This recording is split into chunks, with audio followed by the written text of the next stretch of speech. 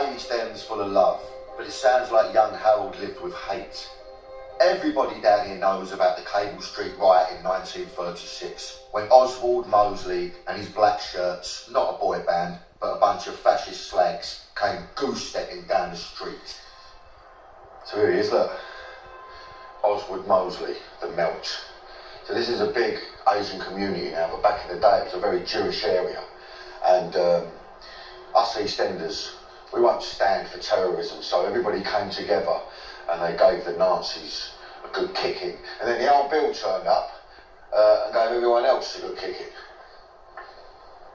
Put it and banged up. Yeah.